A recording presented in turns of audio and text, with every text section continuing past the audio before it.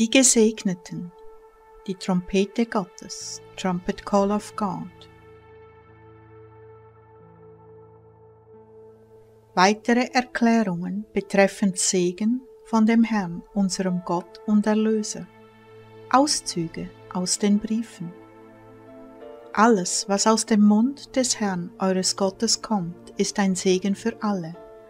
Ein Lied für all jene, die Ohren haben und hören. Eine Vision für alle, die Augen haben, um meine Herrlichkeit zu sehen. Gemalt mit dem Wort meiner Herrlichkeit. Eine überströmende Quelle in jenen, deren Herzen weit offen sind. Es steht geschrieben, der Mensch soll nicht vom Brot allein leben, sondern von einem jeden Wort, das aus dem Mund Gottes hervorgeht.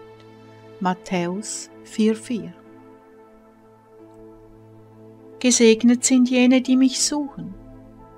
Gesegnet sind all jene, die ihre Häupter gen Himmel richten und ununterbrochen aufschauen in Erwartung des Kommens des Herrn. Sie werden sicherlich gegangen sein von diesem Ort. Gesegnet sind die Weisen, die warten und beobachten und sehen, wie diese Dinge im Laufe ihrer Generation geschehen. Gesegnet sind die Treuen, denn sie werden hochgehoben werden. Gesegnet ist jener, der seinen Weg zu mir findet ohne die Hindernisse der Menschen. Gesegnet sind jene, die eifrig nach Gott suchen, denn sie werden mich sicherlich finden. Aber versteht dies, ich bin auch er, der jene, die er liebt, korrigiert und diszipliniert. Gesegnet ist der Mensch, der vor mich kommt und beschämt und betrübt ist über seine Sünden. Denn ich bin treu, ihm seine Sünden zu vergeben. Ich werde ihn hochheben und seine Füße auf geheiligten Boden stellen. Gesegnet sind jene, die an mich glauben. Gesegnet sind jene, die die Perle niemals verloren haben sondern sie ihr ganzes Leben nahe hielten. Ich bin kein Gott der Gewalt, denn das, was ich gebe, muss freudig empfangen werden. Und wie gesegnet sind jene, die wirklich empfangen haben, denn große Freude erwartet sie, bald hochgehoben, hoch auf heilenden Flügeln. Gesegnet sind jene, die glauben, ohne zu sehen. Sie haben ihre Belohnung empfangen. Gesegnet sind jene, die ihr Vertrauen in Gott setzen und in seinem Sohn bleiben, denn sie werden Segen über Segen empfangen, Gnade über Gnade und Weisheit mit komplettem Vertrauen. Gesegnet sind jene, die an mich glauben. Noch mehr gesegnet sind jene, die mich ganz umarmen und in meinen Wegen wandeln, denn sie werden wegfliegen. Geliebte, ich habe euch schon errettet indem ich das Lamm Gottes sandte, erschlagen vom Fundament der Welt an. Er war in die Welt gekommen und ihr wolltet ihn nicht empfangen. Gesegnet sind jene, die ihn empfangen haben. Gnade deckt sie zu. Schaut, er kommt wieder und ihn habe ich ausgegossen über jede Nation, doch ihr seid beleidigt wegen ihm. Gesegnet sind die Durstigen, die innig getrunken haben aus seinem Becher. Sie sind angefüllt mit seiner Herrlichkeit. Schaut, er wird hinausrufen und er wird sicherlich einsammeln. Doch ihr werdet ihn weder sehen noch hören.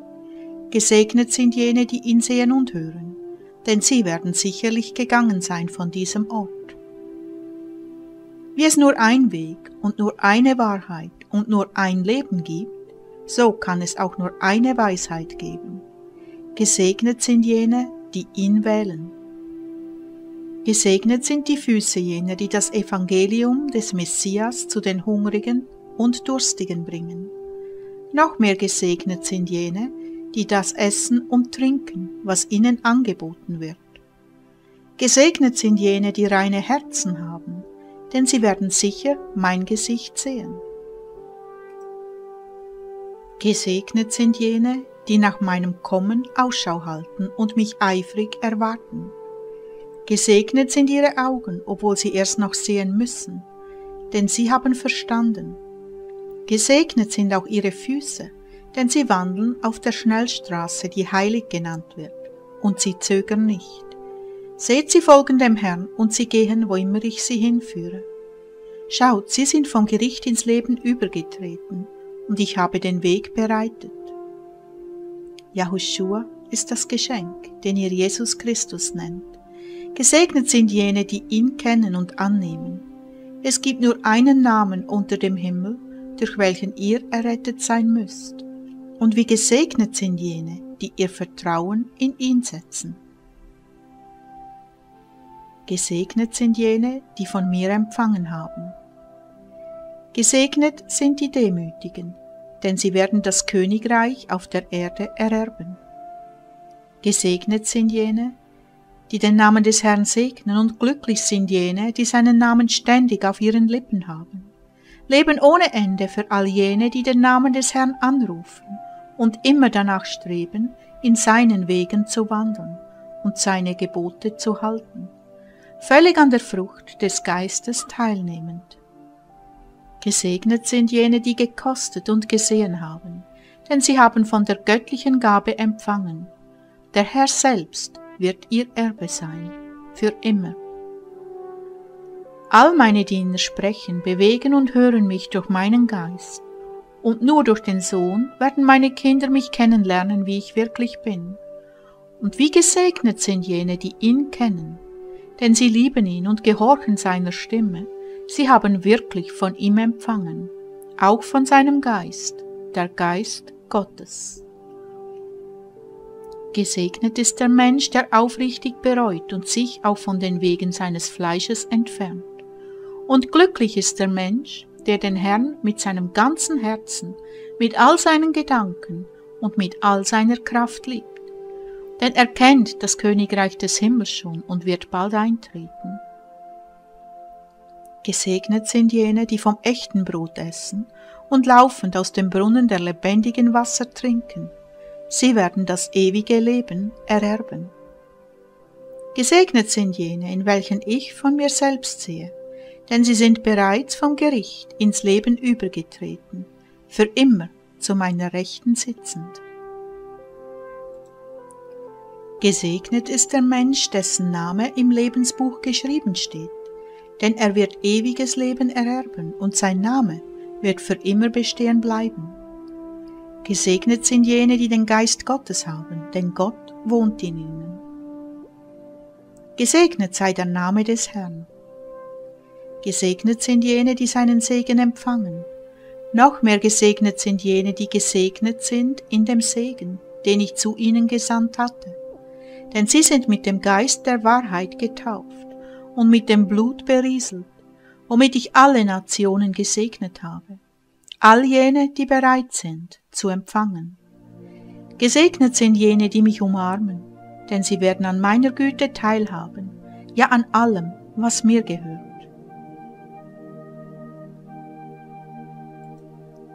Gesegnet sind jene, die mich anbeten Gesegnet sind all jene, die ihre Stimmen gen Himmel erheben und mir vollkommenes Lob darbringen. Gesegnet sind jene, die mir ohne Unterbruch danken, in meinem heiligen Namen. Ich werde ihr Gott sein, und sie werden mein Volk sein. Noch mehr gesegnet sind jene, die sich niederbeugen und die Füße meines Sohnes küssen. Ihre Sünden sind ihnen vergeben. Denn jene, die den Sohn Gottes umarmen, haben das Himmelreich berührt. Ewiges Leben ist ihre Belohnung, im Einssein mit dem Messias verweilend, für immer. Gesegnet sind jene, die in Dankbarkeit anbeten, indem sie Dank darbringen für die Geburt meines Sohnes. Noch mehr gesegnet sind jene, die anbeten und Dank darbringen für seinen Tod und seine Auferstehung. Gesegnet ist jener, der meinen Namen verehrt und mir vollkommenes Lob darbringt denn ich komme schnell, sagt der Herr.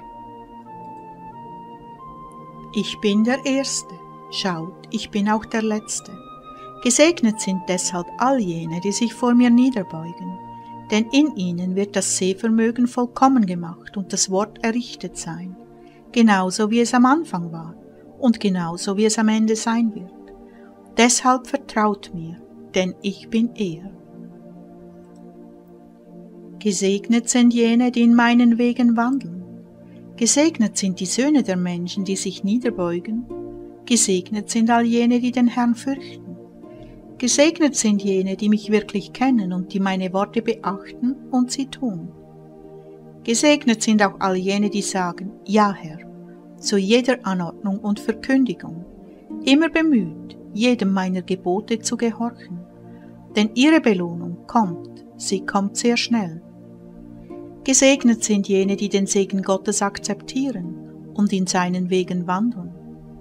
Gesegnet sind jene, die in die Ehe gegeben und in der Ehe empfangen wurden, die meine Gebote halten, denn sie werden Liebe, Mitgefühl, Verständnis und viel Freude und irdische Erfüllung erleben. Gesegnet sind jene, die zu mir laufen, denn sie werden gesegnet sein in meiner Gegenwart. Noch mehr gesegnet sind jene, die zu mir laufen und dann meinem Wort gehorchen, denn ihr Segen ist vollkommen und sie sind im Frieden. Errettung werden sie sicherlich kennen. Gesegnet ist jener, der den Herrn fürchtet und Freude findet an seinen Geboten. Gesegnet sind jene, die tun, was sie gehört haben, denn diese leben im Glauben, und durch ihr Beispiel werden viele zur Erlösung geführt werden. Jene, die meiner Stimme folgen, werden darin gesegnet sein. Gesegnet sind jene, die den Herrn lieber fürchten als die Menschen und an den Geboten Gottes viel Freude haben. Gesegnet sind jene, die antworten Ja, Herr, denn ihr Glaube ist offenbart. Gesegnet sind jene, die beten, dein Wille werde getan, Herr. Denn sie haben großes Vertrauen. Gesegnet sind jene, die sagen, Amen, Herr, zu jeder Zeit und in allen Jahreszeiten, denn sie haben verstanden. Gesegnet sind jene, die wissen, dass ich bin, wer ich bin. Sie werden Frieden haben. O wie gesegnet sind jene, die von der Gnade empfangen haben und sich bemühen, den Vater zu erfreuen indem sie seinem Gesetz gehorchen und die Menschen so lehren. Gnade und das Gesetz. Gesegnet sind jene, die Vergnügen finden an meinen Sabbaten, die sich freuen, das zu tun, was richtig und gut ist, an meinen heiligen Tagen, denn sie werden erneuert werden in der Gegenwart des Herrn. Gesegnet sind meine Diener, die sich bemühen, meinen Geboten ohne Zögern zu gehorchen denn ihr Vertrauen ist offensichtlich. Gesegnet sind jene, die sich bemühen, mich zu erfreuen, denn an ihnen habe ich großes Wohlgefallen. Gesegnet sind jene, die beim Klang meiner Stimme herauskommen, denn ich werde sie sicherlich zusammensammeln. Es sind in der Tat all jene gesegnet, die meiner Stimme gehorchen und das Wort meines Gebotes beachten, denn sie werden erste Teilhaber der Herrlichkeit sein. Es steht geschrieben, wer kann die Absicht Gottes kennen? Ich habe euch aber die Denkweise des Messias gegeben. Deshalb sind all jene gesegnet, die danach streben, in seinen Wegen zu wandern. Gesegnet sind all jene, die dieses Wort empfangen und ihm gehorchen. Sie werden abgesondert sein. Gesegnet sind jene, die sich fleißig bemühen, den Herrn ihren Gott zu erfreuen und seine Gebote zu halten sie werden hochgehoben sein. Gesegnet sind jene, die an der ersten Ernte teilhaben. Sie werden erste Teilhaber der Herrlichkeit sein. Gesegnet sind jene, die überwinden. Gesegnet sind jene, die überwinden um meines Namens willen. Für jene gibt es einen Ort großer Ehre, wo sie zur Rechten des Herrn gesetzt sein werden in seinem Haus für immer. Gesegnet sind jene, die ihr Leben in dieser Welt verlieren, meinetwegen. Sie haben ihre Belohnung. Doch wehe zu jenen, die sich an ihrem Leben in dieser Welt festhalten, denn alles, was sie haben, vergeht. Gesegnet sind jene, die geduldig ausharren um meines Namens willen. Sie erfüllen die Verheißungen. Gesegnet ist jener, der den Ruf des Herrn mit dem ganzen Herzen umarmt, denn ein solcher Diener legt sein Leben jeden Tag nieder und er trägt sein Kreuz wie ich. Beim Aufwachen kniet er nieder zu den Füßen des Herrn mit einem offenen Herzen und offenen Händen, und an diesem Diener erfreut sich meine Seele. Gesegnet sind jene, die ihr altes Leben kreuzigen und sich als lebendiges Opfer darbringen vor Gott, denn ihre Gebete wurden im Himmel empfangen, als ein Denkmal vor dem Heiligen von Israel. Es gibt keine Geburt ohne Wehen, denn eine Geburt wird immer von vielen Wehen begleitet. Doch wie gesegnet sind jene, die durchhalten und ihr Herz auf das Ziel fixieren und den Schmerz ertragen, denn sie werden sicherlich ihre Belohnung empfangen. Gesegnet ist der weise und treue Diener, der keinen Gedanken daran verschwendet, wie er in den Augen der anderen wahrgenommen wird. Denn er gehorcht meiner Stimme und ist nicht bestürzt über die Blicke jener, die ohne Wissen richten. Er bemüht sich nur, seinen Meister zu erfreuen, ohne das Bedürfnis, eine Bestätigung von anderen zu bekommen.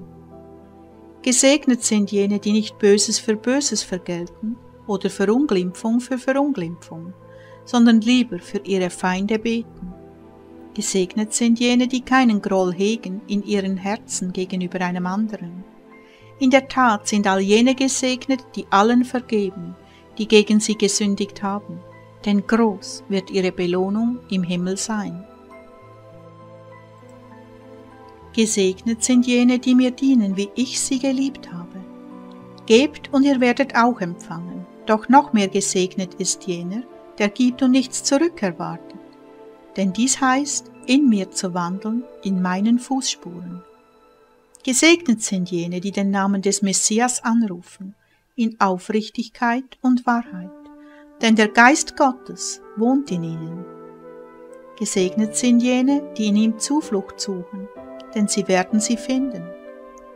Gesegnet sind jene, die den Sohn lieben und ihm gehorchen, denn sie werden sicherlich befreit sein.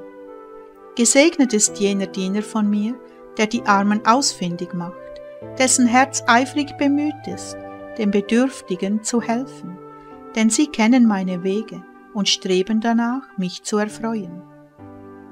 Gesegnet ist auch jener Diener von mir, der von dem Überfluss gibt, den er empfangen hat, denn er wandelt in meinen Wegen. Doch am meisten gesegnet ist jener Diener von mir, der von seinem Mangel gibt, denn er handelt gerecht.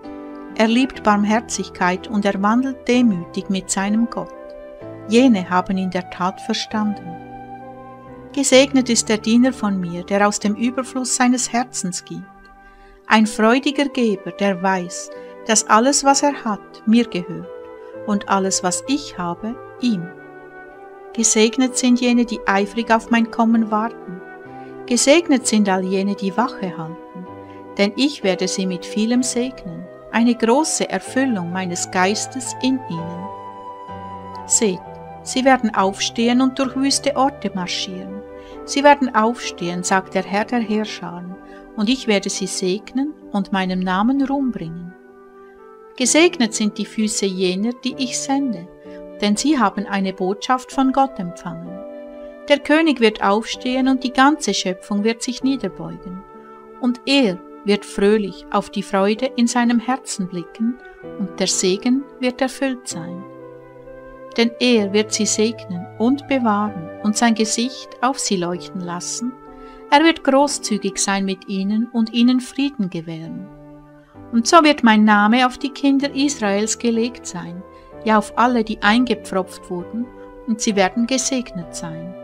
Ja, sie werden überaus froh sein und in der Gegenwart des Herrn verweilen, für immer.